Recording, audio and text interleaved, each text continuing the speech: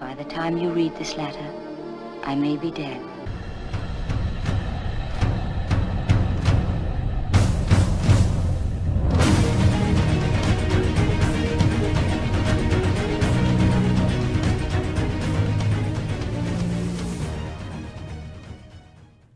Hey folks, it's the blind guy here with another good old movie recommendation.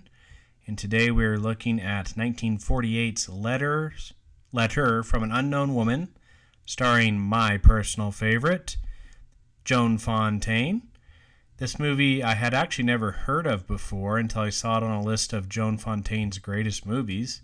And I was able to watch it on YouTube, I believe, for free. YouTube uh, movies had it up for free it may still be on there. The movie's an interesting plot. I believe it takes place in the late 1800s, early 1900s, where the main character, who is a concert pianist, is scheduled to, engage in a duel that he will probably not survive. And he receives a letter from a woman that he cannot remember.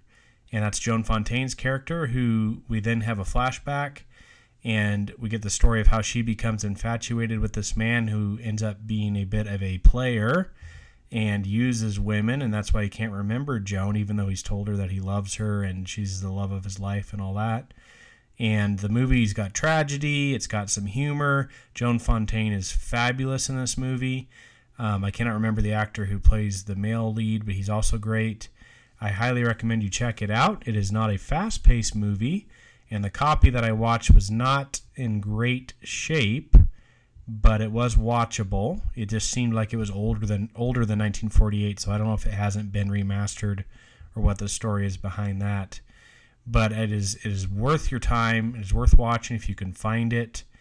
Um, like I said, Joan is Joan is always great, but she's she's exceptional in this. She actually plays from an adult woman all the way down to a teenager and she pulls it off. You actually believe her age and, and throughout the flashback, and they didn't have to use any makeup or anything like that. So um, check it out. Letter from an Unknown Woman. And I will see you guys on the next one.